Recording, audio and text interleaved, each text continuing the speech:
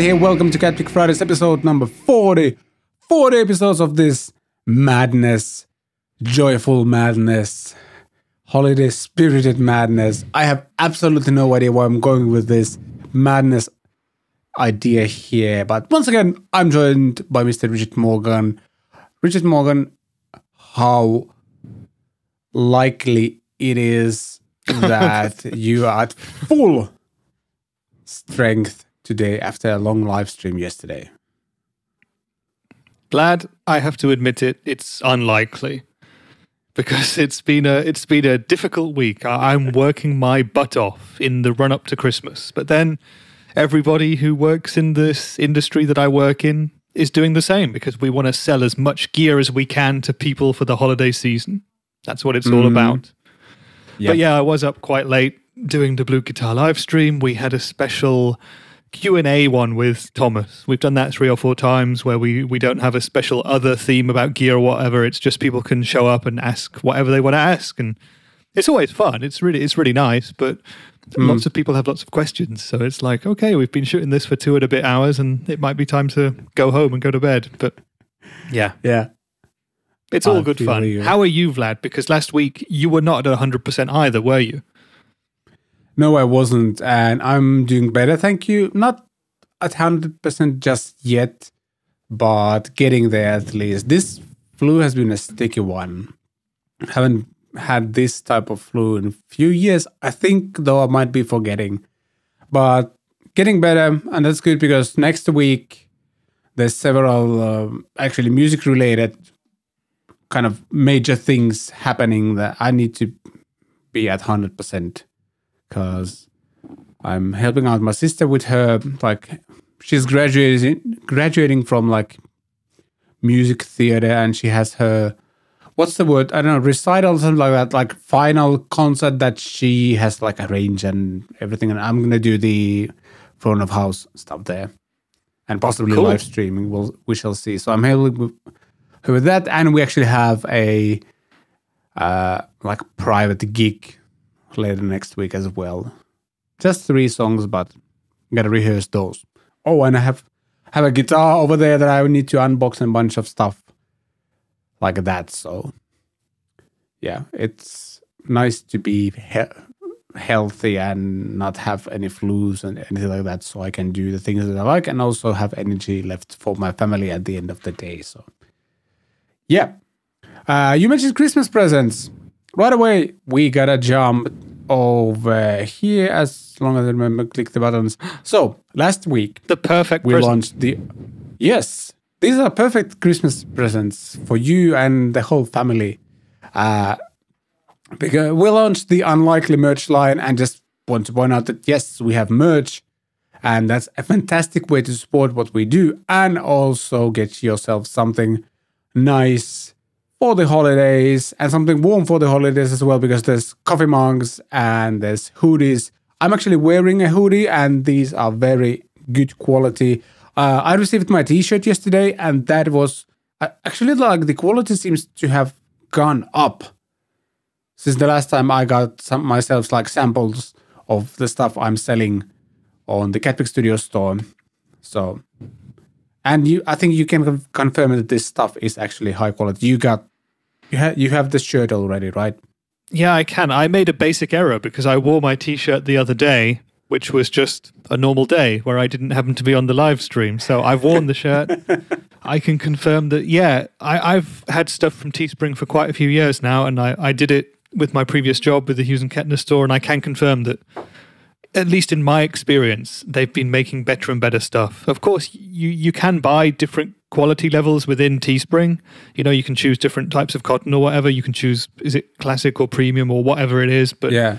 the, the shirt which I've had, the unlikely shirt, is very, very nice. It feels good. It's comfy, size large, fits me like a, I would say like a glove, but it doesn't fit me like a glove because I had it on my torso as opposed to my hand. But it fits really well. It, it's really nice. So I, I like it a lot. I'm very happy with it.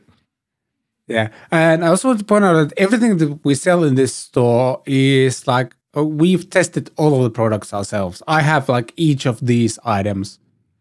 and uh, Rich has some, and a few of my friends have some as well. So, like, any, every, anything you buy from the store is like tested by us before we put it on sale. And uh, last week we talked about like I was trying to figure out how to like there's all, also snapbacks available.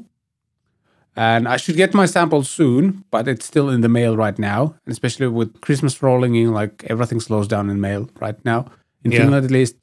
Uh, for whatever reason, in EU store, you cannot see the snapback. But if you go to the Catpick Studios merch site, at the bottom of the page, there's a shipping region ticket that you can click, and you can click it like this. We're showing this on YouTube. And if you select a different fulfillment region and s- switch to USA, kaboom, the snapback is there. And I cannot wait to get mine because this looks good. And it's not that expensive either. Well, tw- 20 eu- 3 euros, 24 euros, but still. And uh, great way to support channel and it is unlikely that you will won't be noticed wearing this snapback. Do you know if it's like shipped from the USA to Europe? If you'll have to pay extra yes. customs or anything when it arrives? Um, dep- I guess it depends on the price. Uh, at least Finland used to have like there was like a fifty euro threshold, and if your order is more uh, expensive than that, that then you don't have to pay the customs, or you might have to pay the customs, which is like few percentage uh, percent of the price. But I don't think you need to pay VAT or anything like that unless it's over fifty euros. I'm not 100% sure. That might depend on the country as well. But yeah, if you want to to get the snapback, uh, use the US version of the store. But if you otherwise you're in EU, just use this one, and you won't have to worry about any taxes or import things or anything like that. The funny thing is, like, I just switched to the EU store, and now I can now I can see the snapback, and I can apparently add it to my. this is very confusing. That is strange. Yeah. So yeah, the cheat code or something like that is that you go to US store, open the snapback, and then you can switch back to the EU store and you can order the snapback. So there you go. We've hacked the system. So strange, but like I got confirmation from Teespring that yes, it indeed will be shipped from US, but you can order it to EU as well, no problem. So that's good. And yeah, that's our merch update. And before I forget, thank you so much for watching, listening, liking, sharing, subscribing. Uh, this show is available on YouTube, Apple Podcast, Spotify, and Podbean app as well. And we kind of alluded to that already, but a great way to support what we do is to get merch. There's a songwriting course, there's a bunch of other stuff going on as well. And you can find everything in the show notes. And there's a special discounts and things like that. There's a special discount to the unlikely merch as well, by the way. Minus 20% off of anything from the store. There's a code for that as well. Use it upon checkout to get something there. And in today's show, a packed one, I might add. Uh, it's the holy grail time of lists. We have three lists, but before that, we go to uh, Wampler Pantheon Deluxe. Then there's a Harley Benton DNA FX GIT Pro. Very smoothly rolling name for a product. Gonna check that out. Talk about the new Tim pedal by Paul Cochrane, and then we have not one, not two, but three lists. Because three is better than one or two lists. And we're going to dive into Music Radar's best 10 best new guitar amp and modeling pedal lists, uh, the 10 best new effects 2021 list, and then the something I'm forgetting what's the French expression like something creme creme something something. Yeah, basically the You mean the creme Gem. de la creme? Yes, exactly. Thank you. I haven't finished my coffee yet, and you can tell. Uh, yeah, best premium electric guitars 2021 list by guitar.com. It's going to going to be a killer. Uh, in albums of our lives, I'm going to talk about an album that like was one of the albums of my uh, late teens, early adulthood years, and yeah, in the weekend watch some bass riffs by ABBA. So that should be fun. And yeah, sorry for the long intro. Let's dive into things that have happened not so long ago. ag- Agone. Okay, let me take a sip of coffee and then we'll continue. From the unlikely mug, by the way. Which makes all coffees taste better. Exactly. At least 10% uh, taste increase, guaranteed. Some sort of disclaimer text here, please. yeah, recent happenings.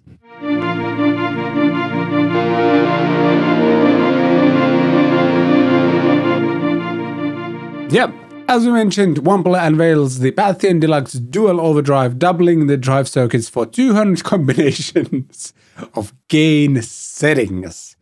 And if you're not familiar with Pantheon Deluxe or like Pantheon Overdrive, that's basically the king of tone as well, right? Yeah, the Pantheon is like uh, Wampler's take on the Blues Breaker pedal. And yeah, the King of Tone is also based on the Blues Breaker, which is the Marshall Blues Breaker circuit. So yeah, the Pantheon came out a year or two ago, maybe. I have a Pantheon, and I made a video about it Oh. a year ago or something, or a few months ago, and I love it. It's an amazing pedal. I'm a huge fan of transparent overdrives. That uh, beautiful overused cliche, but I love it. It's it's just something that works for my style of playing, I think. And traditionally, the blues breaker is also a bit more kind of low gain.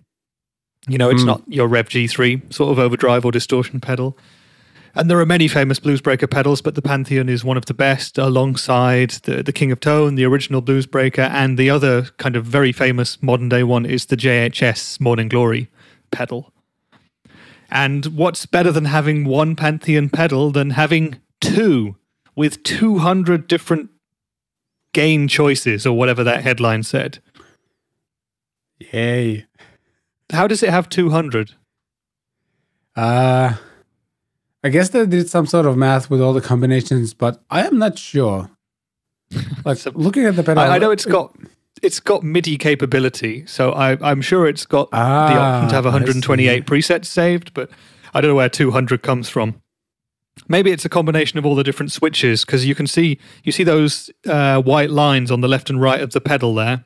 Those Yeah. actually allude to little mini switches on the side. Ah, of course. which you can use to change the clipping style and stuff like that. The um the King of Tone is also famous for that. If you open up the King of Tone pedal, there are four dip switches inside that change the way it clips, etc., etc. And people like to mess around with those. And people like Brian Wampler have put them on the outside of the pedal. I'm just going to fetch my original Pantheon. It's behind me Please on that do. that. Oh, that's hard to do. That shelf there. Yeah, me. Uh, while we wait for it to get the pedal, like, uh, this Did you see that? already like yeah, it gives It me was the the option pedal paralysis. closest to me. Oh, there you go. Yeah, so it was obviously there for regular usage. It's here. Um, Yeah.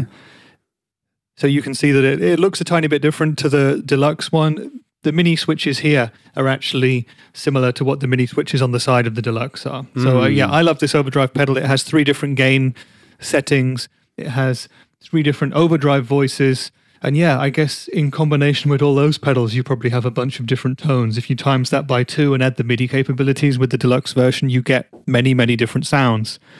The cool thing about the Pantheon for me is that it's supremely versatile because you have those different overdrive voicings and you know wampler pedals kind of do this thing where they sort of sound a bit more kind of clean and hi-fi compared to some other pedals maybe that's just me but i think a few other people must have noticed it Mm. And that just seems to work for me so yeah the original was a great pedal and i would love oops as i throw it onto my desk i would love to try the new one there aren't many videos it out yet looks- our good friend Eirik has done one but yeah he's just made me want it more more More. Yeah. I mean, you Have you definitely ever- need the 200 combinations. So Yeah, why I mean, not? I, I love this pedal, but the one thing that's missing is about 180 extra combinations of gain. so Yeah. Uh, I wonder if my it, works in a way where you can kind of. Well, I mean, there have been pedals where, like, I, I've missed the option to like switch between two combinations of sounds. So yes, it does. I Do guess that. this makes And sense.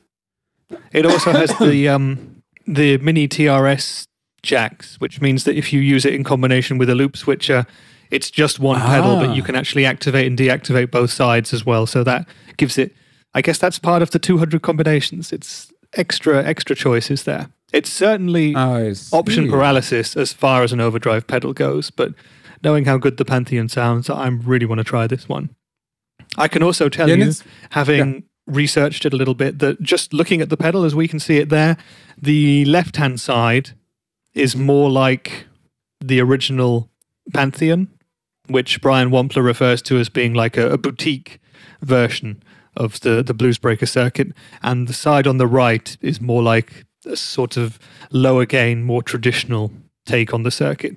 Each of the sides has the four knobs, and in the center of the pedal is the presence control there, which controls the presence on both sides of the pedal simultaneously. Yeah, I mean, it look looks great. I bet you can get well. Apparently, you can get quite a lot of different sounds from it. Uh, it's debatable whether your average audience can tell that whether you have uh, five or two hundred different combinations of gain settings on your pedal. But if it inspires you to play, why not? Uh, yeah, for me, this is a bit of an option paralysis. But then again, if I would get like two good sounds and I can like access both of them via foot switch. Yeah, why not? I'm also like a big fan of Wampler pedals. I need to get the mini Ego compressor just because it's the best damn compressor pedal I've had. It was stupidly simple and I loved it and I need to get one on my board again, please. Yep, get one. You should never have sold it. Why did you sell it? Please don't ask. I don't remember it. it Okay. that pedal is like uh, about 50 pedals ago, so I don't remember that. I don't remember that far in the to the past, so unfortunately, I cannot tell. I'm, I'm sure there was a great reason, uh, and it definitely wasn't like I just want to have new pedals. Oh, absolutely not. I'm sure it wasn't that. Yeah. But yeah, there's a bunch, as Rich mentioned, there's a few videos out already. If you want to check out the sounds, you can find them on YouTube. For example, by Living Room Gear Demos, our good friend Eric. All right, jumping to the next one. This is a mouthful. Harley Benton just stepped up its multi-effects game significantly with the DNA FX Git Pro modeling unit. Um, that's a bunch of words and letters to name the product. But basically, it's a multi-effects unit that you can see here on YouTube, and I think it looks nice. Very simple. There's like a foot pedal on the right side and four foot switches. Output control on the left, and I I don't think that's touch screen, but nice looking screen as well. There's a built-in looper, a tuner, stuff like that. Anything you can want from a model nowadays, I think. Yeah, five inch colored screen, so it's not not a touch screen. And That's still cool though. It looks like a very Yeah. bright and easy to see screen. And yeah, Yeah, five-inch screen, that's that's quite large for a screen on a Yeah. modeler. But the, the whole unit looks quite big. If you look at that picture up at the top, it's almost a minimalist design because there's quite a lot of Mm. unused space. I can imagine a few other companies who would have squeezed that much, you know, those number of controls into a, a much smaller enclosure. But I actually like a bit of room. I, I like the clean design. I think it looks really nice. yeah, same. Are Looks you familiar Vlad, with these? Have you played the original version of this pedal? What, what's the quality like? Does it measure up to line six? Does it measure up to the Headrush? Who are they competing with with this product? Well, first of all, I want to check the price. For whatever reason, I'm getting that in pounds. Uh, let me switch to euros. Uh, 292 euros. Uh, it's still cheaper than the Helix Stomp. I think. I think this is in the price range of like movers and such. I think. Yeah. Uh, so, I mean, it looks nice. There's a nice amount of different I/O. Uh, I think this is probably like a a tier below like Helix Stomps and a Headrush. Like last week we talked about the Headrush, or like mentioned that Headrush, and then there was the Hotone, Hot One, Ampero as well, and. Or was it So what's in ago? this unit? It was with Mike that we talked about that. So two weeks ago. Yeah, what's Two in this one? So you've got amplifier modeling, multi effect as well, right? I think so. IR Yeah, all speaker simulations. yeah. So it's basically basic it's, it's got everything. Yeah. Uh, yeah, you can swi- use it for channel switching on your amp. There's like an amp uh, switch uh, output. So if your amp has like, is that like a latch type of switching thing? If your amp has like a standard like plug-in foot switch, you can trigger those with this unit as well. You can use it as a recording interface as well. There's a two XLR out, uh, balanced outputs, and a couple of unbalanced outputs. There's a MIDI in and out. What else? Uh, stereo effects loop. Uh, there's an aux mini jack input as well. Oh, sorry, outputs of head- headphones. Oh, there's both headphone output and an aux input as well. And it has an expression pedal, but you can also connect the second expression pedal to it as well. So a lot of control options. Nice. I mean, I'm guessing this is this is probably not the at the top of the modeling like quality wise, but all of the modeling units nowadays are at least like good, like very decent. Especially if, like since you can add like your own IRs into this as well. Uh, it will probably sound just fine or maybe even really good. And yeah, there's a list of all kind of like basic effects compressors, EQ, auto wah, harmonizer, overdrive, distortion, chorus, flanger, phaser, rotary speaker, tremolo, reverb with different modes, room plate, spring hall, church, etc. Even Thoman doesn't bother to list all of the reverbs, all the delays that are in the unit. They just say ping pong, like for delays, ping pong, ducking, reverse tape modulation, etc. so, yeah, basically, pretty much all you might want in this type of unit. It doesn't have a drum computer according to the Thoman website, but That's that's the one thing I wanted. Does it have a looper, by the way, I for think it jamming with one, yourself? There was like I even a loop if we foot just switch on the unit itself. Yeah, hold for looper. Yeah. Nice. So it's fully featured. That's a decent price point. I feel like it's maybe it's coming out just a little bit too late to be a sort of a Christmas present option because looking at the website, the Thoman site that you're on there, it says available in 1 to 2 weeks. And Yeah. 1 to 2 weeks is possibly going to, you know, just be a bit too late for Father Christmas to deliver that to people. it could be. Yeah. Uh, I kind of want to try this out. Like I've mostly stayed away from all the multi effects units, but kind of w- wouldn't be a bad thing to try some of this out, just to find out what the mo- like how is the state of um, amp modeling in 2021 with these kind of more budget friendly units. Uh, Definitely. between this and the Hotone, for example, I'm not sure which one to go for. This is probably a bit more.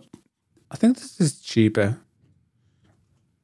Ch- Check the Hotone, Ampero one, but uh, Ampero one is roughly the same price, but Ampero two is four ninety nine. So it's actually Quite a lot more expensive, yeah. yeah. but it has And I think the Helix Stomp is also about 500, Yeah, isn't it? I think so. So the, the the Harley Benton one is considerably cheaper, as with the Mm. guitars compared to the competition. But the question will be, do the effects hold up? Yeah. Yeah, Headrush MX5 is also for for 59. So this is half the price of a lot of these. So well almost at least 292. Interesting. I, I'm looking forward to seeing other people doing videos with this, and then I'll consider if it's something I need to take a look at as well. Mm. I, I've never really had a one of the modern multi effects units. It's just something I've never done because I, I love pedals and I'm proper old school, and I don't like to spend hours inside menus. But with these big Yeah. touch screens, they're making it so much easier and so much more intuitive to program the sounds that you want that I'm getting closer to saying, okay, I need to actually try something. And it, Yeah. in my head, I'm leaning more towards something from line six, but I don't know why. That's just what my what, my my psyche is telling me. Mm, based on my uh, like impressions of all, all the units, uh, Line Six does have the best effects. Like if we're talking about effects, all the delays, reverbs, and all the soundscapes you can create with those. I I feel like most of like modeling experts, you will, would say that Helix still has the best effects. But Yeah, I mean, yeah, it it looks nice. Maybe I need to work out something with Harley Benton to try one Yeah. of these out. I just got a shipment from them yesterday, so maybe early next year. Then I just revealed what I'm going to be unboxing soon. is it a It's Gibson? a guitar. the Harley Benton Gibson edition. What? One of those. All right, moving on. Paul Cochrane teases a new Tim Overdrive. Uh, uh, with luck, I'm hoping it'll be ready by the end of winter. And That's a great quote. That's That- like a Game a of Thrones quote. quote. yeah, it's also like, uh, with luck, I'm hoping it'll be ready. yeah, the Vex builder has revealed that he tried to release the bell ba- back in 2016. What? You know, these things take their time. Apparently. And you know, yeah, he's been working on it for five years. Interesting. Uh, yeah. But this is version three of the Tim Overdrive, and the Tim Overdrive is the big brother to the the Timmy, which is the legendary single uh, transparent overdrive pedal by Paul Cochrane. Um, Yeah. and yeah, the Tim traditionally had a Timmy on one side and more of a boost side on the other, and this would be version three of that. And it's another one that I would love to play, but this will be presumably built by hand by Paul Cochrane himself, like all the Timmys are, and Hmm. sold mostly in the USA in small numbers, similar to the King of Tone, actually. And it'll be quite hard for us in Europe to find one. So, what we're going to have to do is go across to the NAMM show next year in June. Hopefully, these will be available by then. And we can also order an unlikely snapback cap from the Teespring USA store and not have to pay customs or anything and come home with a shed load of amazing gear. But again, I, I love the Timmy pedal. And if the Tim, which I've never tried, if the new version of the Tim is anything like the Timmy with an extra boost, then I'm all for trying that pedal. Uh, I love the Timmy. It's one of those always on sort of subtle pedals that just makes everything you do sort of sound and feel better. It gives you extra dynamics. It just gives you a bit more kind of juiciness to the tone. And sometimes you don't even notice it's on, but then you turn it off and you're like, ah, so that's what it was doing. It's like magic Yeah. fairy dust. yeah. Yeah. I have the Calan Pure Sky, which is, I guess, a copy of the Timmy pedal. Yes. And it, it's just fantastic. so I think mine is dying because it's like there's been a few times where it starts to cut out all of a sudden, and the when the pedal, like whether the pedal is on or off, the light is blinking weirdly, randomly. I've unplugged it right now. I'm looking at my pedal board, but like there's something going on with that pedal. Uh, kind of would love to get the real version or actually maybe even this one because this one you could apparently run with 18 volts, and I kind of like the extra headroom the 18 volts give gives the Yeah. overdrive pedals. Plus, it would be nice to support the original designer. yeah, Um, it, it always is. to- I mean, I have my Timmy, Yeah. which I absolutely love, but I had to buy it secondhand here in Germany, and I was on the Yeah. hunt for one for quite a few years. Actually, I would always look every time I went to the NAMM show, every time I went to California, and I've been to eight, nine, ten, however many, and I've always thought I'll manage to find one at a store around there, but there's never anything because they're so limited and they get snapped up so quickly. And I think, unfortunately, a lot of them get bought by people just to sell it for twice the price later. But I was lucky to find one in Germany that was at a, a decent price for what you pay over here. And I'm incredibly happy with mine. Yep. Yeah. Um, uh, oh, they mentioned in the article that uh, he has partnered with MXR to launch the mini version of Timmy. So maybe Which I I'll also get that, have. that. Oh, have you compared which is the great. two? Yes. Watch my channel, Vlad. I need that sweet, I'm sweet ad revenue. No, but I have I've done a video where I compare four Timmy esque pedals. Oh, The. Timmy? I- the MXR Timmy, the Danelectro, transparent overdrive, and what's the fourth one? Is it the Pure Sky? I think can't you had even the remember. Sky as well. Yeah, I do have the Pure Sky, yeah. But it might have been a different pedal. I can't even remember. I'm just going to look at that right now. So, so you've just entered a phase in your life where you have like different iterations of basically the same pedal. Pretty much. you much. found your niche. yeah. I have. Why not? What a sad little niche. But it, it's fun. Hmm. Oh, yeah. So Yeah, it was, yeah, the Pure Sky. So it's the, the Paul Cochrane Timmy, the MXR Timmy, the Keeley Pure Sky, and the Danelectro Cool Cat Transparent Overdrive. Ah, I compared the four of them. go. We're gonna drop a link to that video in the show notes as well. Of course, But we we're are. going to write that Oh, down so I don't. I'm going to send you a, a little link right there in the Thank you. chat. There you go. Dankeschön, as they say in Norway. They do. Yeah. Uh, yeah. Let's hope, hey, there's an AM 2022. Two, we can actually get there. And three, we would be able to, for example, try out this pedal. That would be awesome. Out of I- ifs do you there, know if- but Yeah, I was going to say, do you know if Paul Cochrane even goes to NAMM? Because I've never seen a Timmy stand or anything like that. I don't know if he even does. I mean, he probably just sort of shows up on his own, but doesn't have a booth or anything like that. But yeah. I mean, if this is out by then, we'll we'll find some way to try it. Do you have a price in the article? Uh, I do not.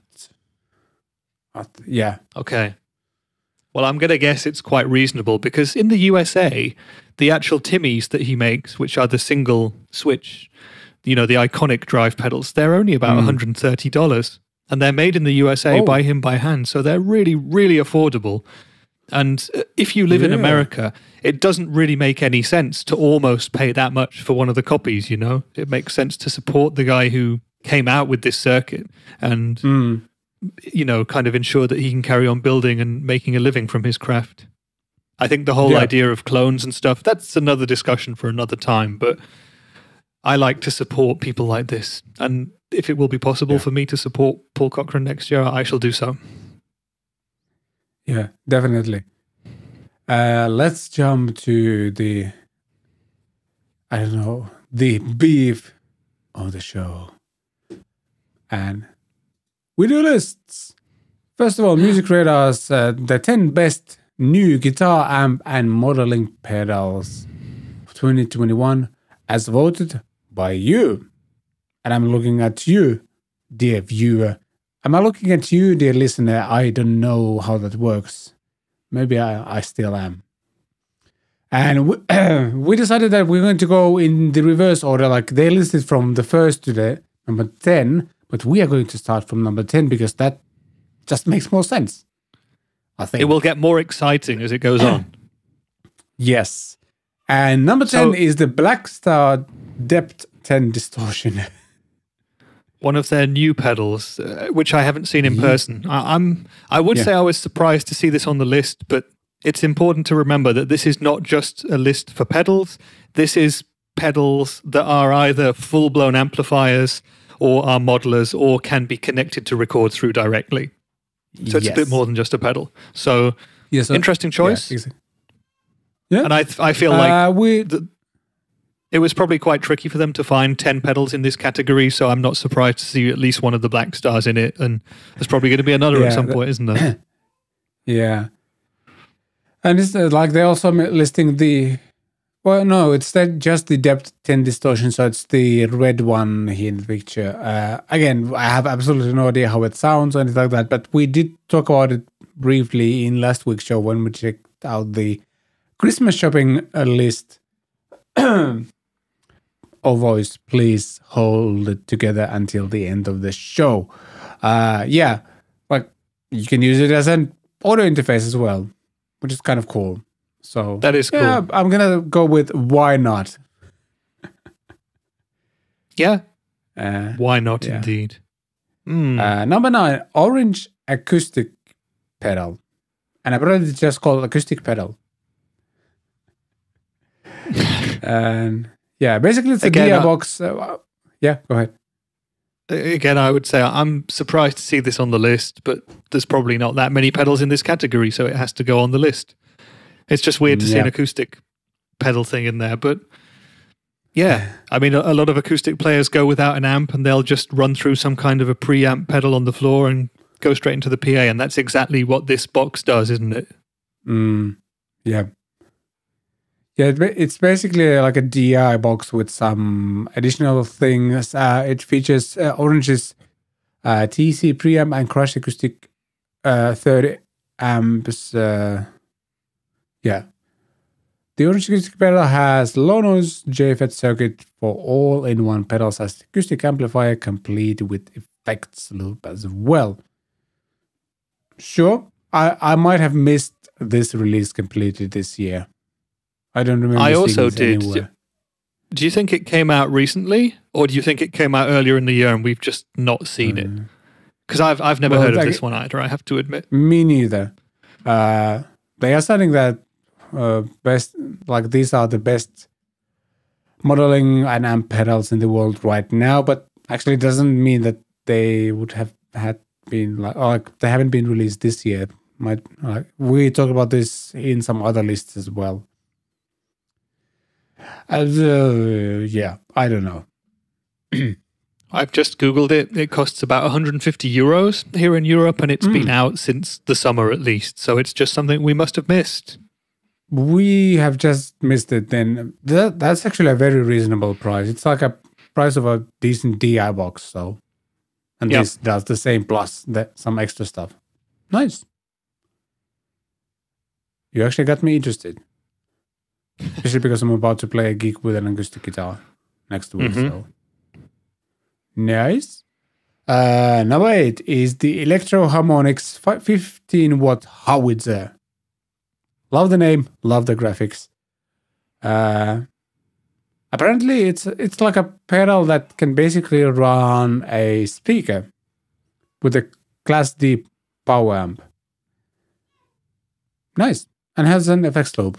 So that's like a literally like an amp in a pedal size within Yeah, the, the, there's a few companies that make these. I wonder how loud you can get with the 15 watts of Class D power.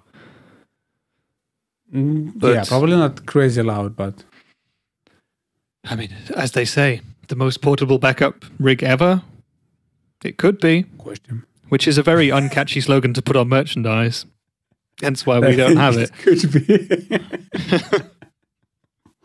it's it's a bit more optimistic than ours, but Yeah, exactly. But this looks like a decent pedal. I've never tried any of the Electro Harmonix mini amps because they have a couple of other ones as well. Yeah, I've forgotten the names off the top of my head, but they have a 22 watt one, etc. And there's other companies who do these in, in pedal form. And yeah, it's, I guess, if you want to have a, a thing to stick in your gig bag or whatever, just in case your amp goes down, then why not? why not is the perfect answer to this question. Mm. So yeah.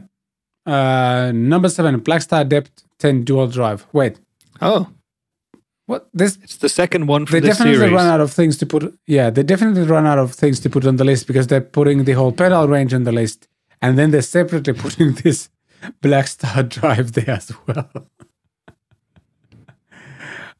Come on, The- just do a list of nine then instead. Uh, I don't know. This Yeah, feels wrong I- to me. I would have to agree. And again, we need to try these Blackstar dual drive pedals. This Yeah. Department 10. It's it's come out and it's just it's been a time of the year where it's not really that comfortable to go into a music shop in Germany right now. Mm. So uh, Yeah. I mean, I haven't had the chance to test one. Same here. And yeah, let's jump to number six right away. And that's Walrus ACS1 amp plus cab simulator. I think this was featured on the Reverb top selling list as well. I think we checked out. Yeah, couple of weeks it ago. was. Seems to be doing really well. It, is a really cool thing. Hmm. This is their take, kind of a, a competitor for the Strymon Iridium, for example. Mm. Yeah. And Yeah, it's like- literally a, a modeling version of a, you know, you've got a preamp in there, you've got everything for the power amp, you've got IRs. It's it's a rig in pedal form. I've used one very briefly at 42 Gear Street, the event in the summer that I went to, and it, it sounds really good. Yeah. Nice. So many cool options available for pedal boards nowadays. But this is the first Uh, one in the list so far that feels like a proper thing that should be in the list. Uh, the Walrus Audio one, not not the number five, right? Yeah. Yeah. The number five also Number five- feels proper, but Yeah, number five definitely also feels proper because number five is the Victory V4 the Kraken, which is basically the preamp section of Rabea's signature amplifier, the Kraken. So, yeah, that thing is le- legit if you want to use such an expression. It's basic. It's from what I understand, it's pretty much the preamp from that amp, and then you can just power, pair it with a power amp, and you got the sound. ah, so So, is this not a fully fledged amplifier? You need to pair it with a power amp too. uh, actually, like, uh, I need to check. Just checking the article to said that for the Analog enthusiast, there's a val- valve-driven preamp, a Class D solid-state power amp. Oh, there you go. So there's that. Uh, ah, I forgot. It comes with built-in two notes technology in it. That's actually That- super good. I forgot. That's pretty cool. It's got everything. yeah. That's. I, I'm surprised that not more people seem to be playing this thing, because the the original Kraken when it came out, everyone was loving it, but the the Victory pedal amps that I don't see as many of them around. Let's put it that way. Again, maybe because they were released during a pandemic and because people just can't play gigs right now. But this looks, I'm in theory, actually- very very cool. Yeah. I'm all of a sudden very interested in this one or the Duchess version, which I think also comes with two note stuff. Do you know the pricing on these? Uh, uh, I don't, but I, it won't take me long to open up a Kraken. Did I misspell it or just? I'm just getting Pirates of the Caribbean stuff. Uh, did they stop? Ah, I think Oh, It looks like Victory are not on the Andertons. Uh, the Andertons? Oh, Why did I even say Andertons? It looks like Victory are not on the Thomann store. I'm sure they're on the Anderton store. Yeah, let's check that out. Weird. They used to be on Thomann. There you go, though. That's funny how how intrinsically linked Victory is to Andertons. And it just made me think of that, even though we were looking at the Thomann site at the time. Uh, Ah, So so, the, yeah, yeah, yeah. So they have two different versions. So there's the Kraken, just the preamp pedal, and then Mhm. there's one that we're looking at, which also has like the power amp section in it. This Okay. is something I didn't know actually. So and what's the pricing difference between the two? a lot. Uh, three three seventy nine pounds for the preamp and seven ninety nine with the power amp and two notes technology. Oof, that's a big jump in price That's a for, for a Huge. Class D solid state power amp and the two notes stuff. Yeah. But I mean, you know, you presumably get what you pay for, but that's a big jump. That's a big jump indeed. Yeah, just Are you still as interested price. as you were before you saw the price? Uh, yeah, I'm less interested now. Especially like if uh with the whole effing Brexit thing, like getting anything from UK from UK has become way more expensive right away. So And another really interesting question for me is since when have Victory amps not been on Thomann? Or were they never on Yeah. Thomann? I always remember like seeing them on Thomann. Yeah, I think so too. So at some point they've they've disappeared from Thomann. They've stopped stocking them. So it seems. Well, that sucks.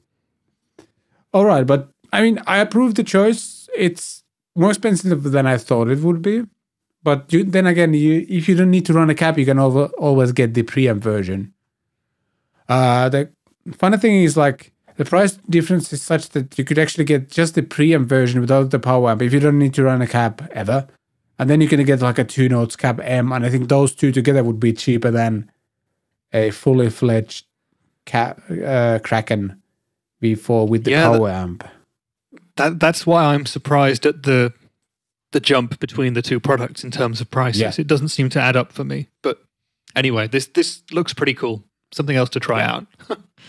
Yeah, I approve it being on the list though. So Me too. number four is the Fractal FM9, a product we haven't tried but we would love to try. Let's put it that way. Yep. Uh, If there weren't enough effects in that new Harley Benton one, you have the FM9, which will, you know, if you suffer from option paralysis, destroy your brain even more.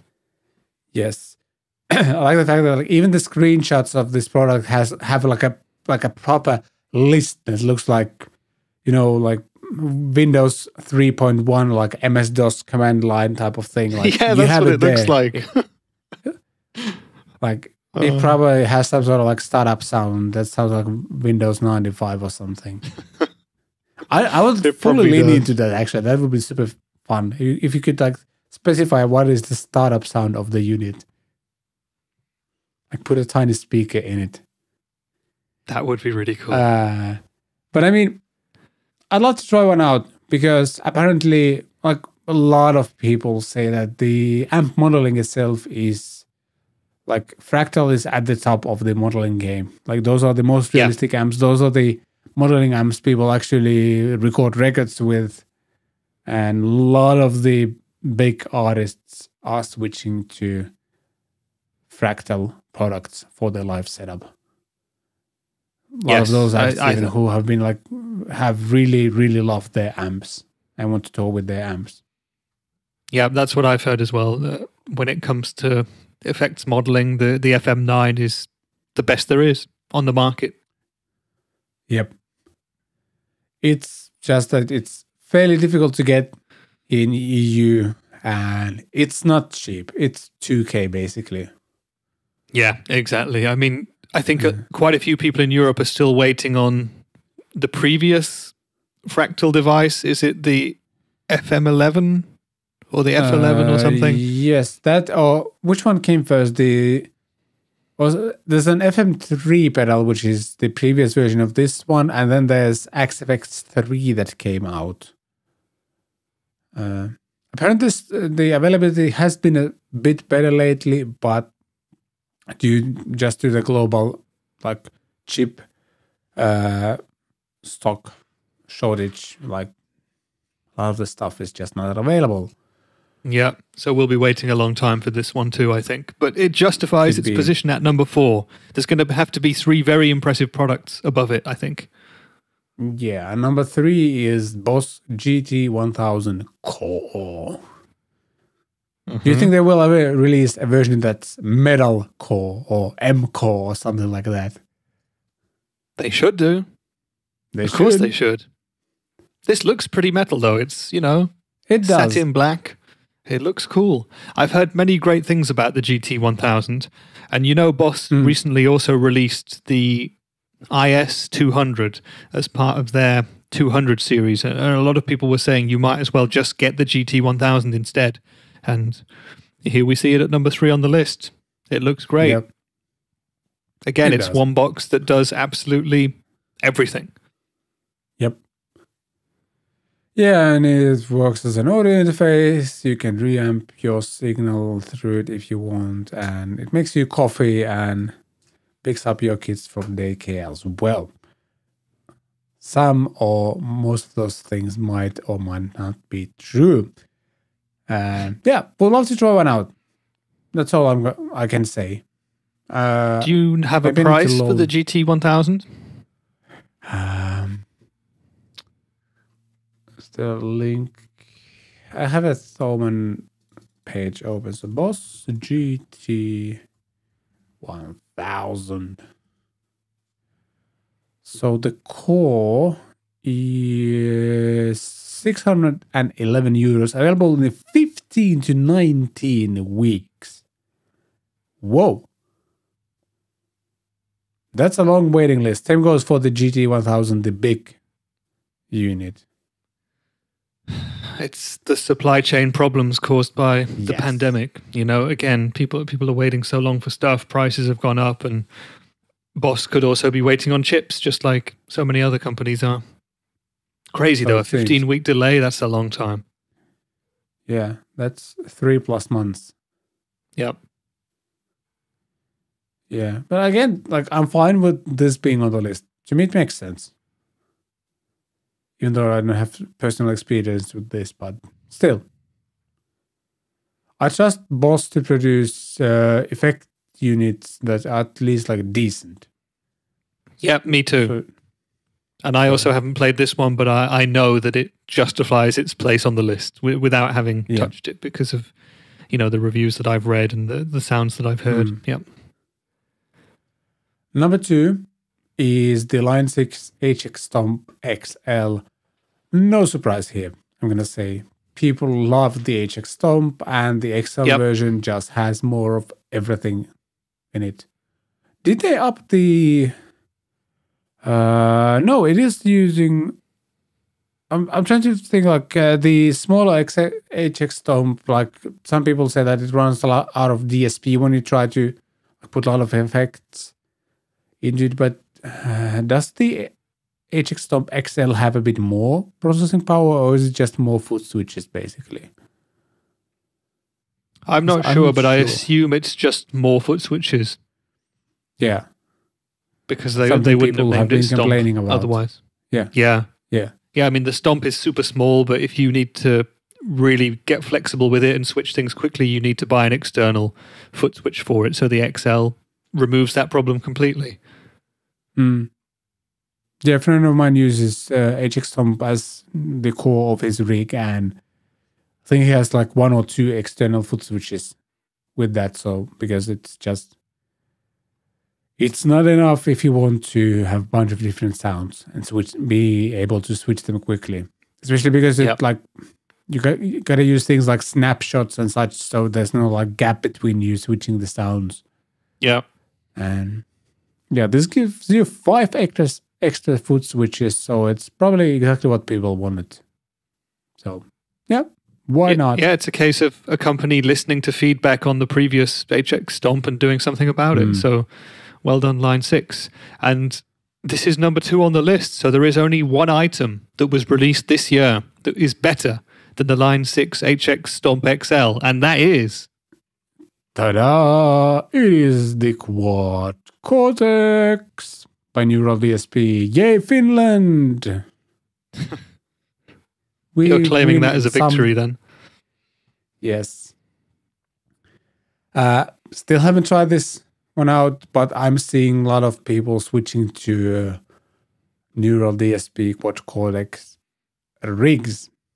So apparently, it's like uh, based on all the reviews I've read, like it's incredibly promising. People love how it feels to play, how it sounds, but like especially effects wise, it's not there yet uh, when compared to Axe-Fx or Helixes, for example. But then again, those products have like five to ten years and more of like developing time. So I guess it makes Yeah. sense.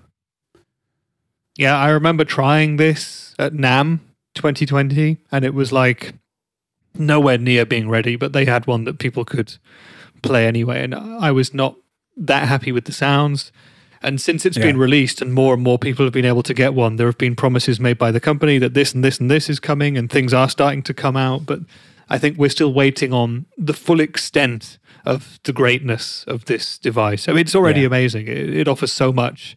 And apparently the um not the profiling, I forget what they call it, the modeling of amplifiers That and effects thing, that you yeah. can do with this is supposed to be really, really good. So it's a great device. It's just going to be interesting, like you say, to see how it progresses over the next couple of years and if they can actually deliver on the promises that they've made. Yeah, exactly. Yeah, I love the user interface on this. It's easily the most like the the one I would see myself using like easily because you can like if you didn't know like on the Cortex every single foot switch you can also like rotate and use those as like well rotate like a traditional knob so there's like this physical tactile feeling of adjusting something in your digital system which I really really like. So you're not like dragging any sliders or clicking plus or minus buttons or anything like that. You can just rotate the knobs and it does the thing. So that's really cool. Yeah. Like user interface design wise, this is super cool. That's an interesting touch. I, I remember when this was fresh, this uh, Quad Cortex device, and people were saying, will those controls that you stamp on and at the same time have to twist, will they last months and years of regular usage? And I don't think I've ever heard of anyone's breaking yet. So they seem to be doing all right so far. Lots of innovation in this one, that's for sure. And I feel like Yeah. it it rightfully has probably the number one place on this list. Yeah. I mean, again, this was- is a list that's been voted for by uh, readers of the um, musicradar.com. So it's just people are most hyped about this one, I guess.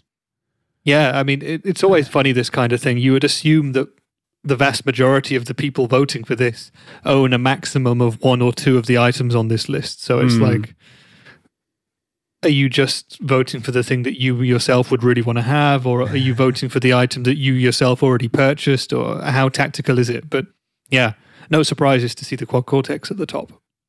Interesting Yeah. list, though. I feel like Yeah, it is. we could have pro- we probably could have survived with a top five for the uh, best new pedal amps and modelers 2021 because down towards Kind towards six, seven, eight, nine, ten, we're scraping the barrel slightly, perhaps, but. Yeah, th- there's Hmm. definitely something for everyone here, from the, the metal stuff to the mini power amps in pedal format to the acoustic players. So everyone has been covered Mhm. with this top 10. Yeah, definitely. Uh, yeah, interesting list. And this is not the end of the lists. Uh, we are going to jump to the next one because uh, next we want to talk about the best 10 best new effects for 2021 and i think this was this was also voted by readers of musicradar.com am i correct saying that? Yes. Yes. Good. And yeah, let's just jump to number 10 MXR FOD drive. Absolutely no idea what this is. Please forgive me. Are you familiar with this pedal?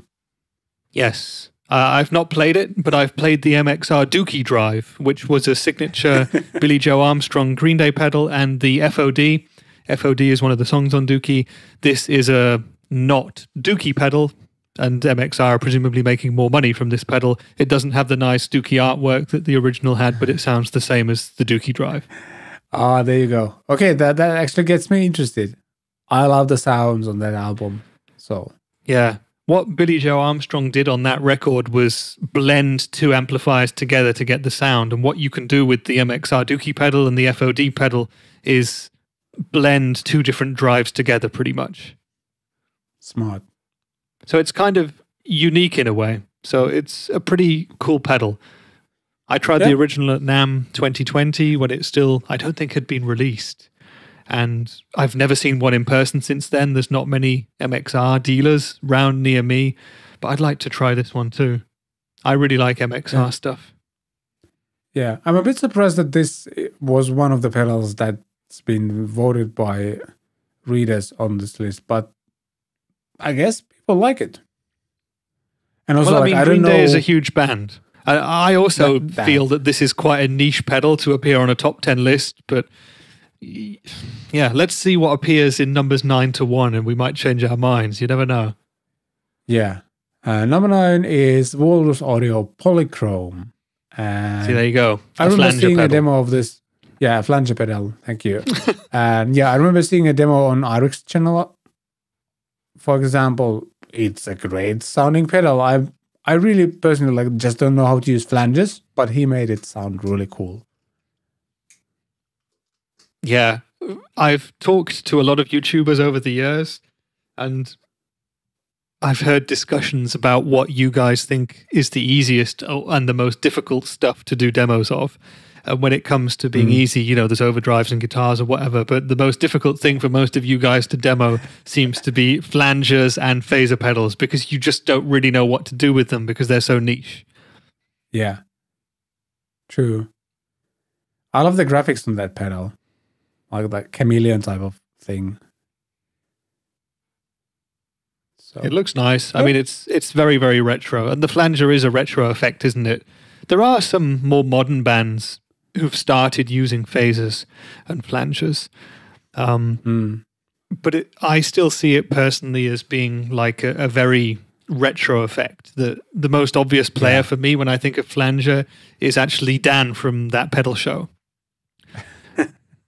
but there, yeah. Yeah. there are more modern bands like Tame Impala who are really bringing these effects back, but also making really retro influenced music with them. So I don't know. I would find them really hard to demo too. Let's put it that way. Yeah. And speaking of flanges, I just quickly checked this second, the number seven pedal. Wait, ah, so there's like a, I think there's like a tied seventh place because we went from nine to seven right away. So I'm guessing like seven, seventh place is tied. And number seven, part B, let's call it that way, is the Strymon Zelzah multidimensional phaser. So from flanger to phaser. uh, we actually talked about the pedal when it came out. Like, uh, who is it for? And we talked about our struggles with phases and flanges. Like, I love the sounds, but I personally like. I've owned few phaser and flanger pedals, but they never like stuck with me because I honestly just didn't know how to use them. And same goes with this one, I guess. Yeah, and that's a that's a phaser pedal with so many different phaser sounds that you wouldn't know how to use. It's it's very much overkill if you're not a mega phaser fanboy. Mega phaser fanboy. Yeah. I mean, I understand why it's on the list though, so and yeah, seven A or seven B, depending on whether you prefer the the Strymon or the Beetronics Vezpa uh, octave stinger. So that's like an octave fuzz, I think. Yeah, Yeah, cool. Why not? Again, one of those things that I don't really know how to use an octave fuzz. But I'd still be more comfortable with that one than a phaser or flange. yeah, me too, probably. And yeah, we've got Rabea on the thumbnail of the video there. He's the one who I associate a lot with with Octave Fuzz as a, as a more modern player. He he makes it sound great. Yeah. So I'll be watching that video later. Again, for me personally, I think Octave Fuzz is not something I use that much. I'm a big fan of garage rock, so I like octaves and I like fuzzes too, but together it's it's sometimes kind of hard for me. Mm. I, I love the phrase "I love octaves." Gonna use that one like randomly out of context. That is a good phrase. Yes, just want to ha- hear something but higher or lower. and uh, number six, Walrus Audio Mako Series R1 High Fidelity Stereo Reverb. I think I've seen a demo of this, and it's a great reverb pedal. It is. What more can you say? It's single stomp box sized, but it packs so much into. Its enclosure. I did a video on this pedal with Lee Fuge at 42 Gear Street, where we tried to find a rig that could basically cover any sound you could ever want. And we basically only really used spring reverb most of the time, but with this pedal, you can do everything, and it, it all sounds Yeah. amazing. Yeah, nice. Uh, remind me to drop a link to that video as well in the show notes if people want to check Okay. it out. So yeah, can you actually do it right now because before I forget to remind you? Okay. And me, while you do that, I can jump to number five on the list. Uh, Dunlop Crybaby Custom Badass Dual in Inductor Edition. Wow. So many words. But it's a wah pedal that. What's different about this one then? Uh, it's. What? It's some sort of limited edition. So there's like two different wah circuits built in. And what else? Yeah. I guess people want different kind of wah pedals in in one wah pedal. Ah, it has That's the. It has the Fasel and Halo inductor modes, so it basically gives you two different styles of wah sounds. Effectively, it's something for wah enthusiasts for sure. I mean, if you want, if you love the different sounds that you can get from those two different sorts of wah pedals, then this is for you. But if you're just looking for Mm. your first wah pedal, you, you wouldn't need to get this one. I mean, if you wanted to, it would probably be great. Again, wah is a pedal that I've never really got that much good use out of. I think probably because I'm also not that much of a lead player, but Mm. there you go. I think most of the bands that I listen to also don't really tend to use wah pedals much. What about you, Vlad? I don't think I've ever heard you doing too much with a wah pedal. Uh, there might be a few videos on my channel where I do use a wah pedal, but I mean, it's one of those things that it would be nice to have a wah pedal for like every uh, 20th recording session I have.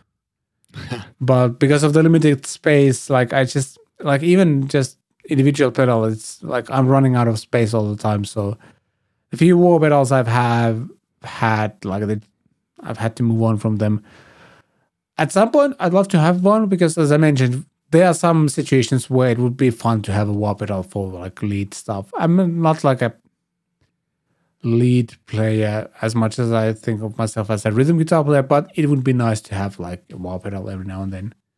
Yeah. It's fun. And interesting to see this on the list, by the way. Like again, if this is what it voted by readers, and number four, three tied. There's again like a tie between two different pedal ranges actually, but number three tied is the Universal Audio UAFX series pedals, and it's three pedals. It's kind of interesting that they That's just threw fair. all three. Yeah, that's not fair putting a whole series as one thing. Remember the last list that we looked at? There were two Blackstars from the same series as separate numbers in the list, and now we have three Universal Audio pedals as one here. Yeah. Yeah, But yeah, the- fair, these but- look like great pedals. yeah, but they sound really good, so why not?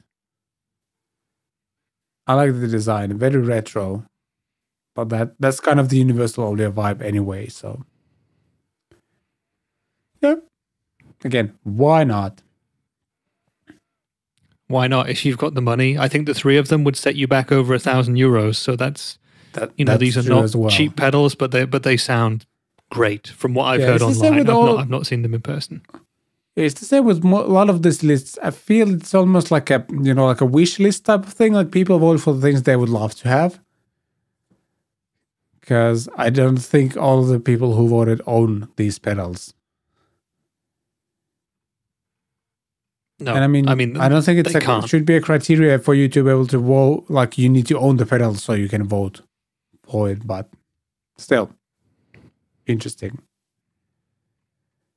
Uh, was also interesting. Like the universal audio pedals were tied with Boss HM2W heavy metal Waza Craft distortion pedal. yeah, from one end of the market to the other, and Yeah. you can guarantee that they've appeared at number three together, but way, way more people own the HM2W yes, heavy metal Waza Craft distortion pedal. Yeah, I want to looks have like one a great just pedal. because you need to get one. Yeah. yeah. yeah, It's just it's a classic, and being from the Scandinavia, it's like it's almost mandatory for me to own one. If you're a guitar player in Scandinavia, you need to like almost legally uh, like bonded to get one. Yeah, it's that Swedish death metal sound, and there's only one setting you can use with this pedal anyway. So, and I was seeing the thumbnail from all so it's Swedish approval, like Sweden approved, like thing on the back as well. Yes, I totally agree. Nice. And number two, and this is interesting, Boss RC5 loop station, the compact size looper by Boss. Uh, by the way, I think the like the video here and the pedal here, the image and the video are from a, about a different pedal. They put a pedal Yep. of RC1 instead. Yep. so is it the yeah the RC5 is the one on the list? Yeah, so it has like a RC1 mini display and everything. Yeah. yeah. Yeah. Uh, Uh, I'm not familiar. Yeah, go ahead. Carry on. Carry on my way. Uh, yeah. Mhm. Uh, looks great, uh, especially like with the small display and everything. I love small looper pedals that can do a lot, even though it would take me 700 years to learn how to use them. But I just love the idea of them at least. And oh yeah, they are talking about the RC1, I guess, in the article as well. But it's just a bit confusing that the video, the pedal we're talking about is the RC5. The videos is RC5, but the photo is of RC1. Mm. But yes, RC5 was the one that was voted. Uh, it got um, 99 user programmable slots, uh, loop engine that you can record 13 hours of your playing on it, 57 different drum grooves, and and Boss also gives you A/B variations of each groove, so you can create pretty complex stuff with this. And you can even use it uh, with MIDI and synchronize it with your DAW or drum machine. And you can back up your loops via USB. Uh, That's pretty and you can well get them in like featured high for- quality. Yeah, and you can ha- like yeah, you can get those loops via in like a wave format as well. So nice. So And I have actually another kind of mentioning question in the for article you. that num- yeah, Yeah, in carry the on. article that number one is the TC Electronic Ditto Plus Looper, which is a tiny Ditto, but it has a display.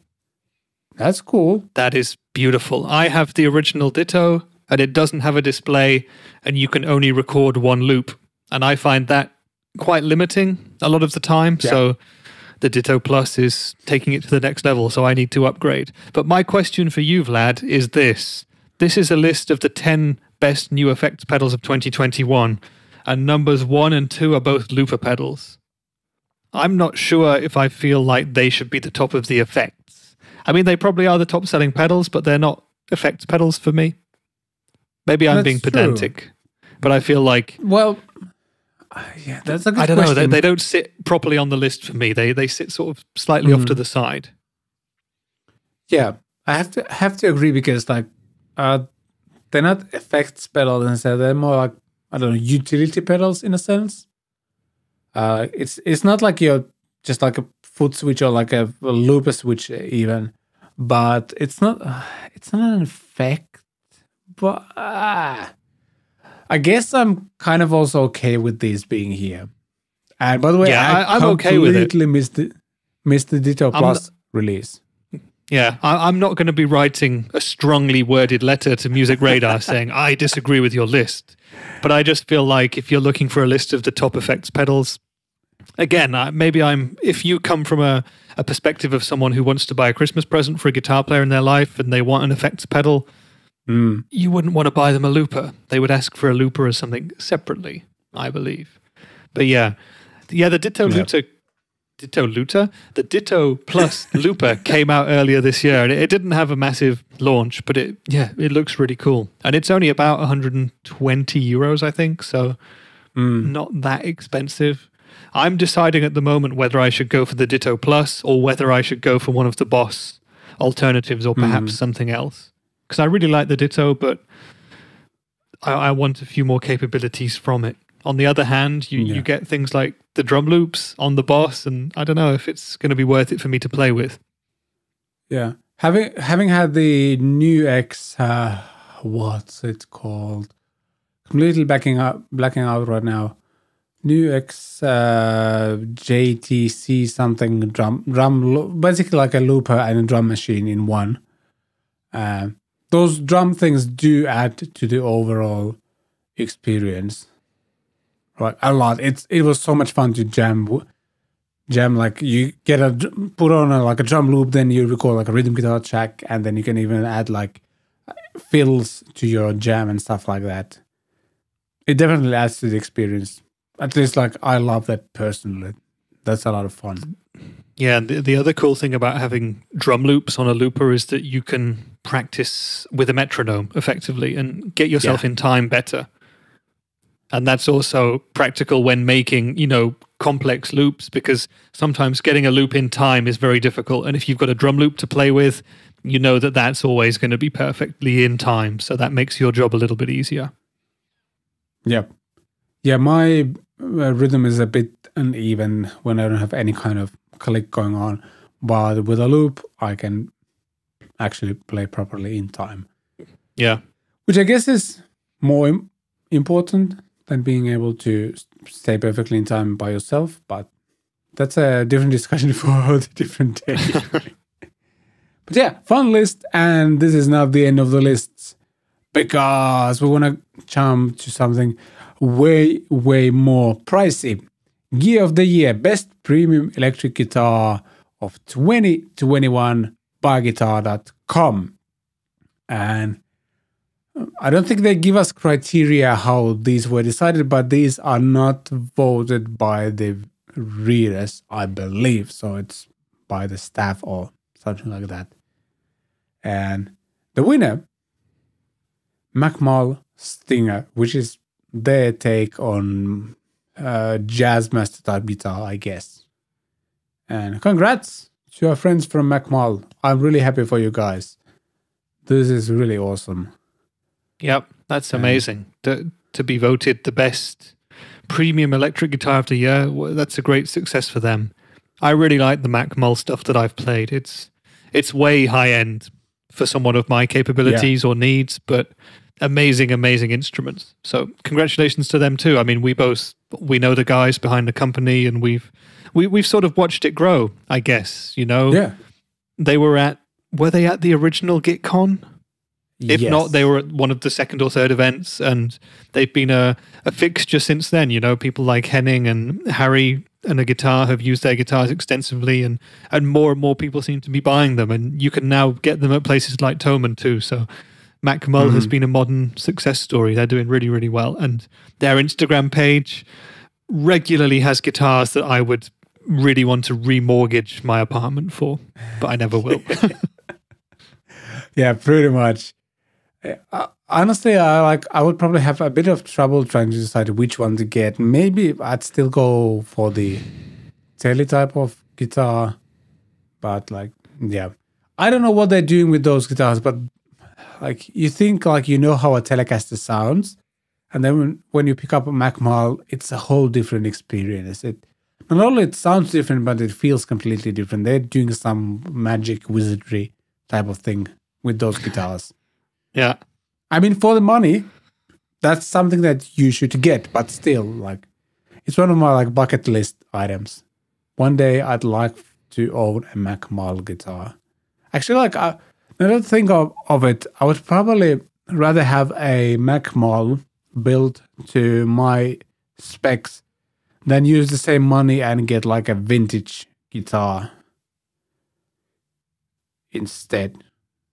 which might be a controversial take, but let's say I have six thousand euros to spend on a, on a guitar, I'd probably go for a Macmull instead of like trying to search for an old Tele or something.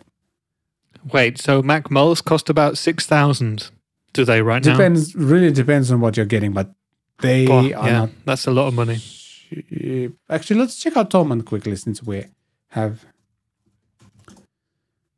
Looks like there's one guitar available, and that costs oh. four and a half thousand euros. An S Classic.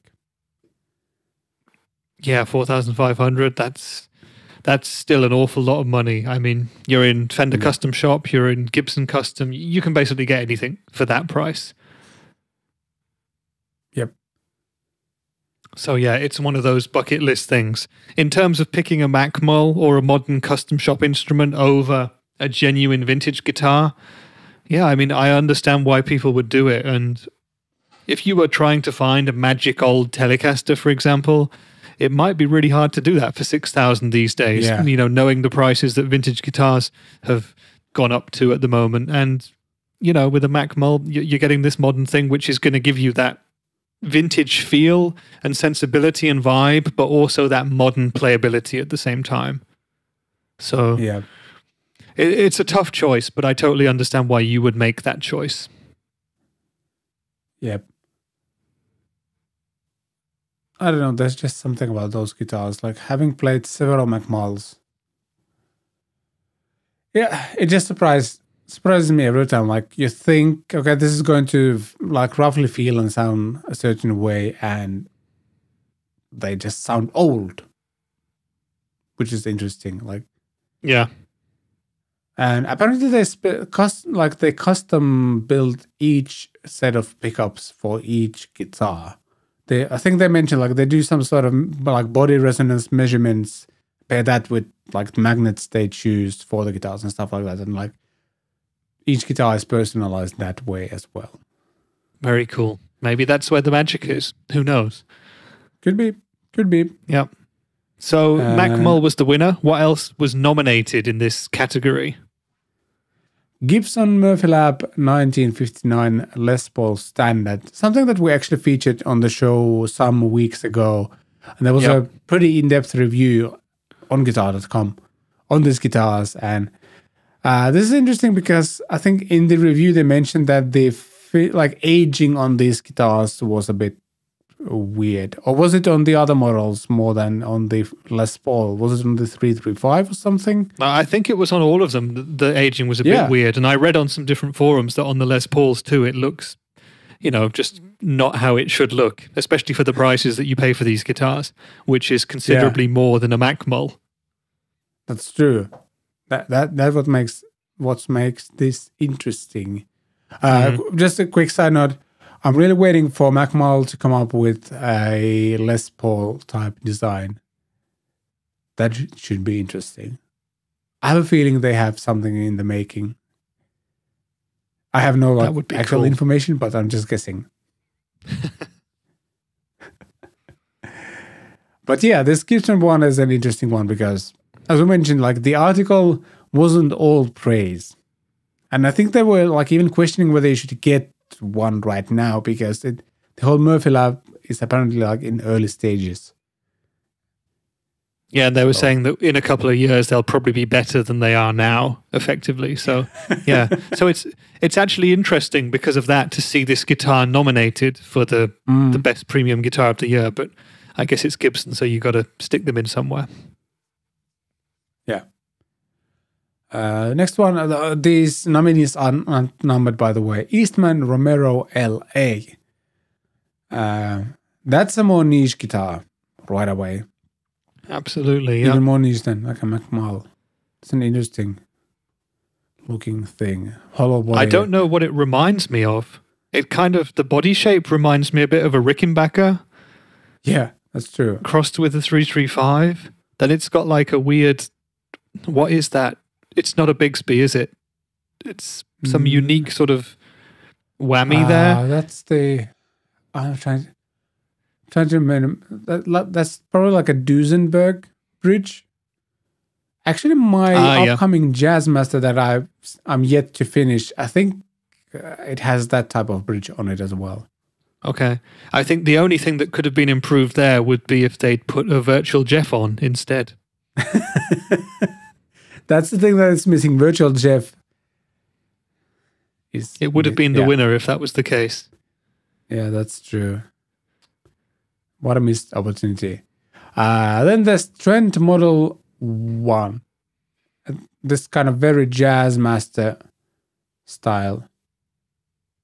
Yeah, it looks like a it looks like a jazz master that someone created on Minecraft. Like a more kind of straight cornered That's art house, Bauhaus take on a jazz master or something. It's really cool. Yeah. Yeah, it looks nice. I, I like that design. We don't actually see the headstock on this photo, but you probably like if we check out would check out the article, we get, would probably I'm gonna have to See, look at that.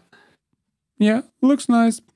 Uh, then the next nominee is the Ernie Ball Music Man Saint Vincent Goldie. By the way, I'm just realizing they're missing the prices for all of these. That would kind of add to this list. Like what?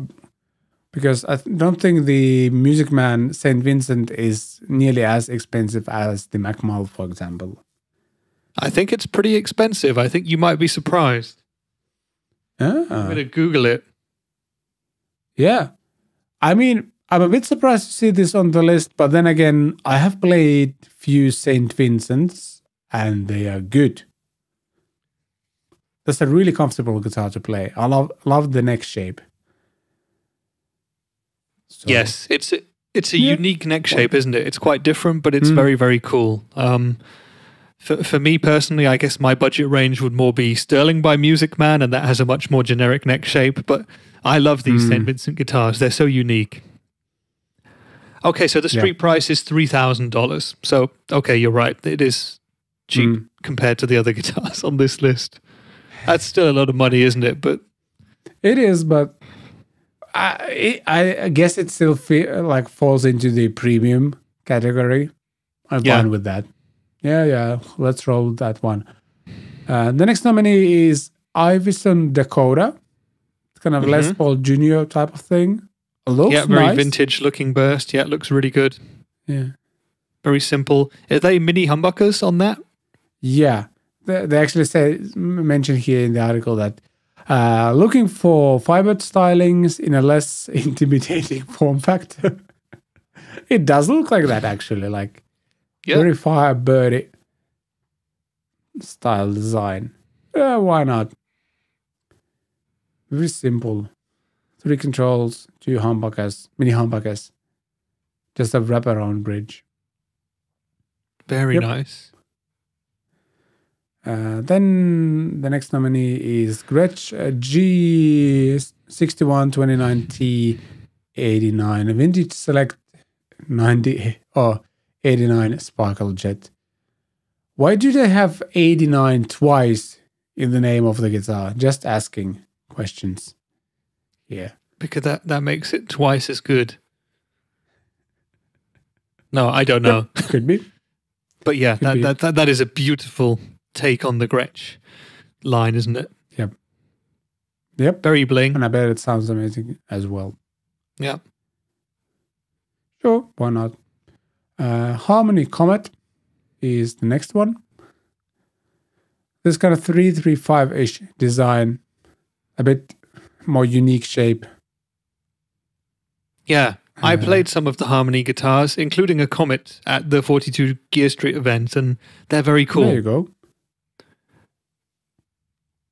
Yep. I'm not sure if they're kind of exactly in the right place being on this list because again I think they fall into a cheaper price point than all of the Oh, other guitars really? on the list but still they're, they're very fun instruments I, I really enjoyed the ones that I played and I would like to get some onto my channel at some point but that's going to take a while I think Nice.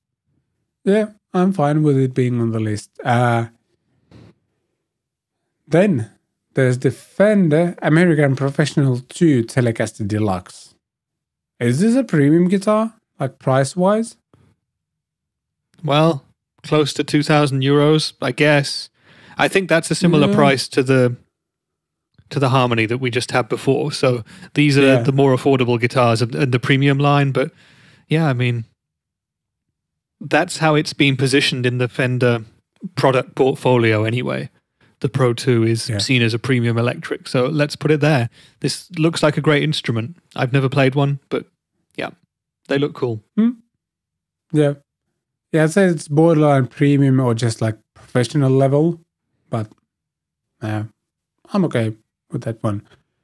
Then there's the Epiphone USA Collection Casino.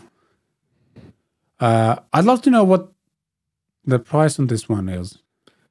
They're proper expensive. I think they're about two and a half thousand dollars, but just Google it.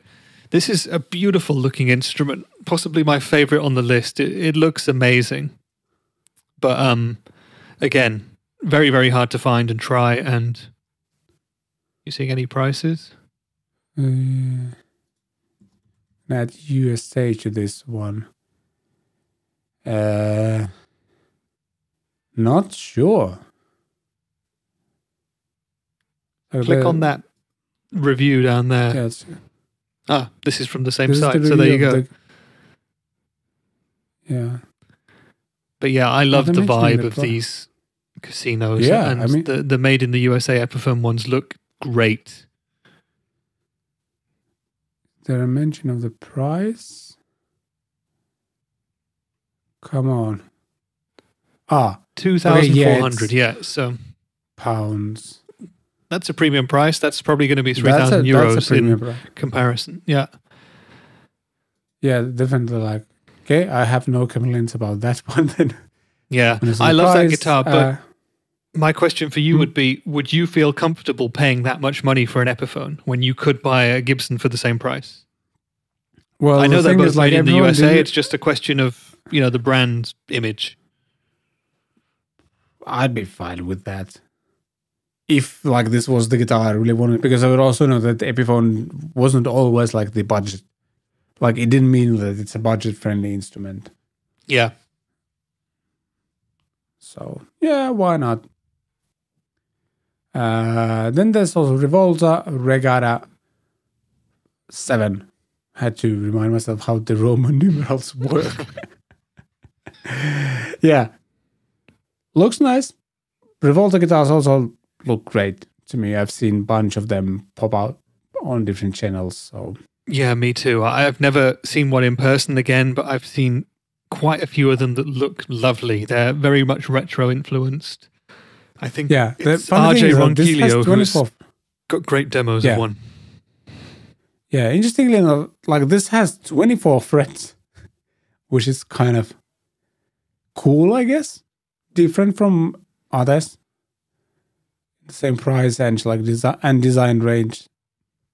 Yeah, why not? Seems to be my answer for a lot of things, but I like this too. Me as well. I wonder why it has 24 frets. Yeah, I like. That's a good question. Like, I don't think people buying this type of guitars kind of usually want to have 24 frets. That's what I was do I thinking. yeah. Yeah, no, no, I was thinking exactly the same thing. People going for guitars like this are not really going to be shredding up there and needing that second octave, are they? But Yeah. you never know. The other thing that comes to my mind is the fact that I know that Rivolta make a few baritone models. So, you know, having different scale lengths, longer necks, or different numbers of frets, it just might be a thing that they want to have in their range to appeal to those players who want that kind of stuff. Yeah. But yeah, there you go. That's the best premium electric guitars of 2021 according to guitar.com. I think Yeah, and- we mostly agree, right? Yeah, as voted for by them as opposed to the general public, I think. But just going back to the very start of that list, we've just seen what the Macmull Stinger has beaten. So what a huge success again for, for Macmull to win Yeah. that. Very, very cool. Yep. So I'm really happy for the Macmull guys. Well deserved, well earned. One of those things. Yep. Yeah. And from guitars to albums to things that uh, you create with those guitars albums. Very smooth transition, Oh, yeah. isn't it? Yeah. Uh, I'm going to talk about an album that has been super, super influential, especially in my teens. Yeah, albums of our lives next. Plastic on a CD shelf, these are the albums of our lives. I am annoyingly modern with my choices in the sense that I have I don't have physical copies on many, many of these albums. I actually do think I have a physical copy of this album somewhere, but I was just unable to find it for this episode. And we are talking about Reckoning Night by Sonata Arctica, which is a Finnish power metal band that absolutely blew my mind when I was a kid, when all of this came out. Um, I think the first time I heard of them was like maybe 2003 ish with their Winterheart's Guild album, but Reckoning Night was the one that I remember listening through like countless and countless of times. Um, I think one of the like when I decided to go with this album, one of the things I immediately realized was that uh, Sonata Arctica set the bar for like the quality of power metal they kind of wrote. They set set the bar so high that I haven't really been able to find other bands in this genre that kind of do it for me the way this band did, especially back in the day. And I actually re-listened this album this morning, um, just to remind myself like how, what a cool album it is. And Sonata Arctica, as I mentioned, is, is a power metal band, but when it, when it comes to like uh, compositions and vocal arrangements, especially, they are like a tier above your average power metal band. You very very ra- rarely hear like any kind of you know classic pop chord arrangements and stuff like that. The, uh, the compositions and songs are usually fairly complex, but they flow seamlessly from one part to another. Uh, Tony Kakko, who is the singer of the band, he he has admitted many many times in all the in- interviews that he's a gigantic Queen fan, and the amount of harm, vocal harmonies and vocal like production things they do in this band and on this album are just ridiculous. There's so many cool harmonies, and he's such an amazing vocalist. Uh, it's just really cool. Like there's definitely this kind of theatrical element to all of that, all of the album as well, because they are like transitions from one song to another, where there's like the speech parts and there's like all of these ambient, uh, huge choir things that Tony sings and stuff like that, and just a super fast but amazingly written and sung and played album.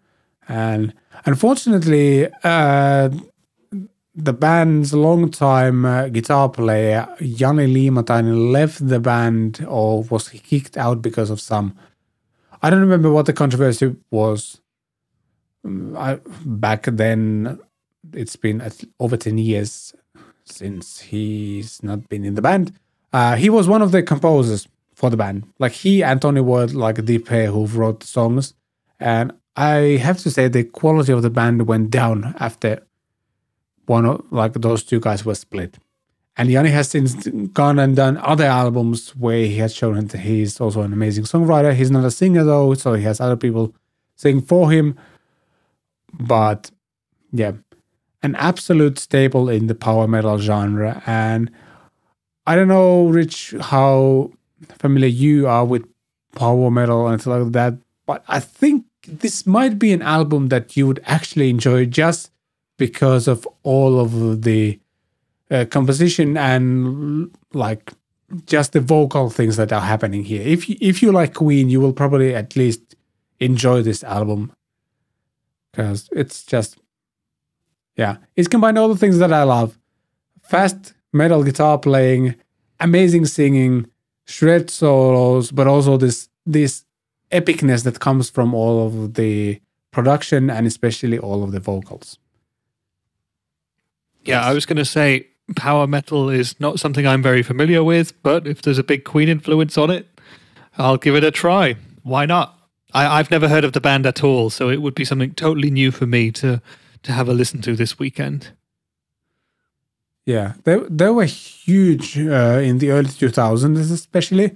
They were like one of those bands that broke into like uh, they were huge in Japan as well. They might still be huge in Japan, but that was the, like in the early 2000s. Like uh, European metal bands started to like become big in Japan. Sonata Arctica was one. Nightwish was one. There were, I guess, few other bands as well, and uh, in very early like YouTube and just internet video days, there was some interviews uh, by the with these guys uh, on some like Japanese shows, and they are kind of fun to watch because well, everybody speaks great English nowadays, but back like in the early 2000s, it was still fairly uncommon for a Finnish artist to be able to speak like proper English on interviews. And like when you got Japanese people interviewing uh, Finnish people in English, those were some fun interviews to watch. Just saying. uh, it was like, you know, I'm assuming you know who Kimi Räikkönen is, the F1 driver. Like at this yes, roughly, of course. He's yeah, yes, he's very famous for his like one-liners. Those whole interviews were basically like one-liners, and definitely like they've really improved since then. I think Trey had the band like a few years ago. Trey interviewed the whole band when they were touring US, and it's completely different now. They have they were a great interview and like a super fun listen. But yeah, this band was such a huge part of my ch- childhood, teenage years, and I still can't play like them, but I really appreciate the craft and I forgot how much I love the band by listening this out like when I was listening to this album. Okay, I'm going to give it a try on the weekend. I never thought I would be spending this weekend listening to power metal, but there we go. These things can happen. Yeah.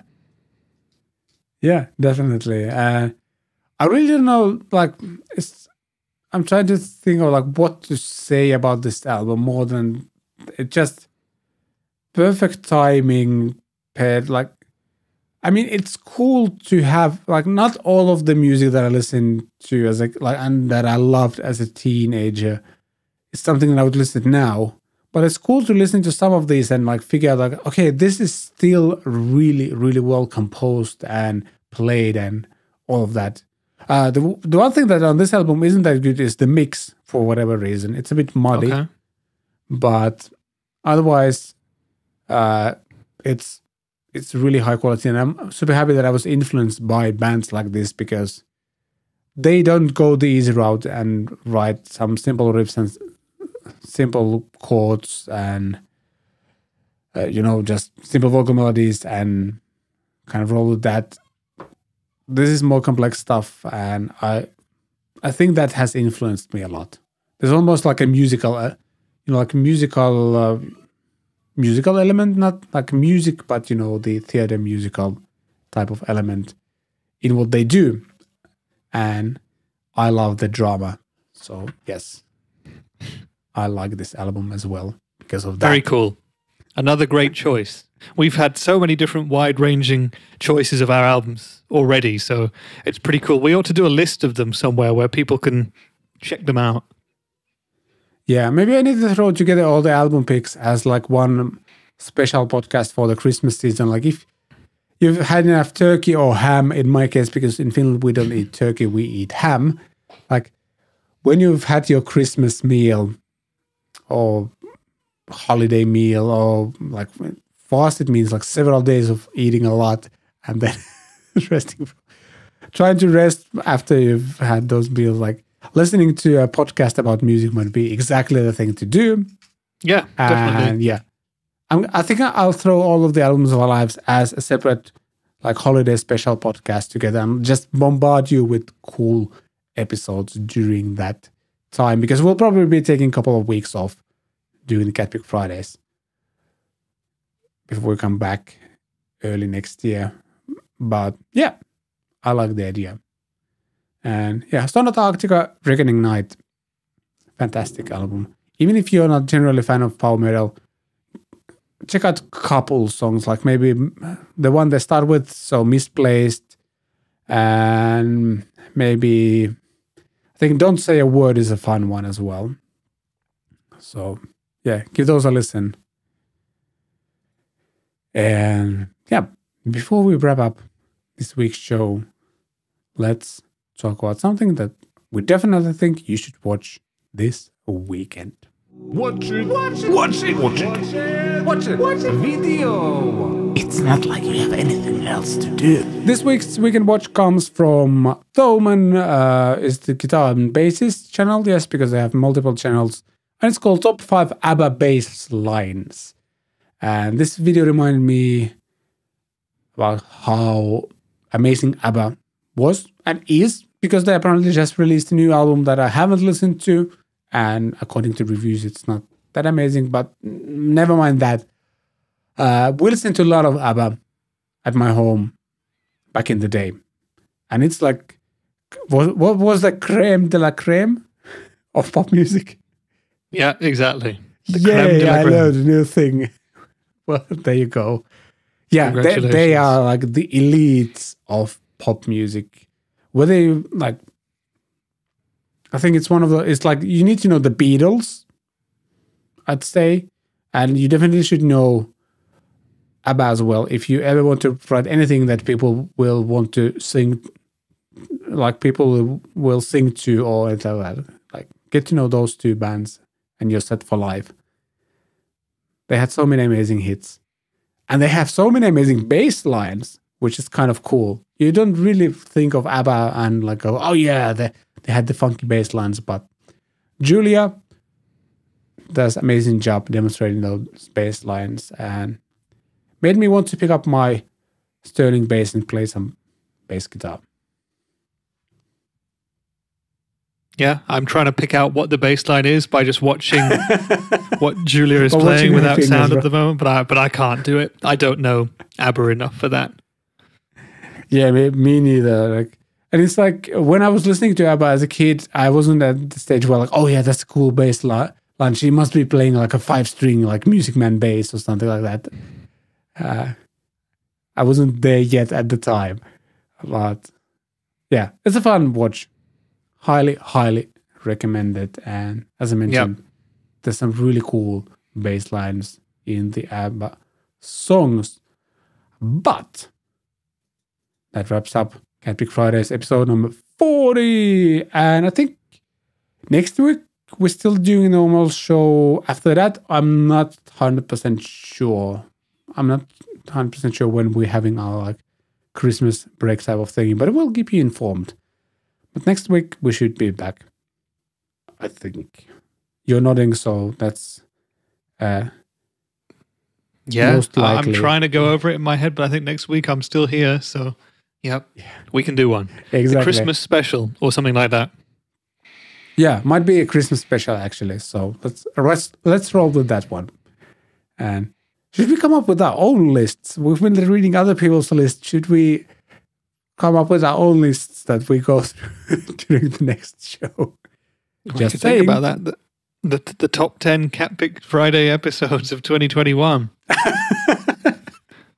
I was thinking of something more of like our craziest uh, music related gi- like gift ideas or something like that. But we can go with That could work.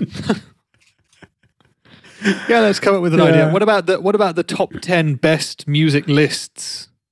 We could do a list of lists and go full on Cat Pick Fridays inception. I would like that. Yeah, we go like full meta on that one. our top 10 list, our top 10 top 10 lists. It's a good idea. But also a Yeah. stupid one. So we probably shouldn't Yes. do it. Yeah. I mean, uh, probably five people would be super excited. Everyone else would probably watch something else. Yeah. Um, yeah, we'll come up with something. Don't you worry. So just keep an eye on Catpick Studio social media and we will let you know what's going on. And yeah, Thank you so much for watching, listening, liking, sharing, subscribing. Ways to support what we do in the show notes, as is everything else, as always. And yeah, have a great weekend. Thank you, Rich, for joining me once again. And bye, podcast. Bye, podcast.